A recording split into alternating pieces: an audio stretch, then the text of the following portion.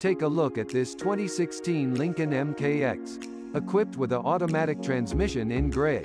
This car comes with some great features including spin car options, option 10 spin car options, option 2 spin car options, option 3 and more. Come in and check it out today.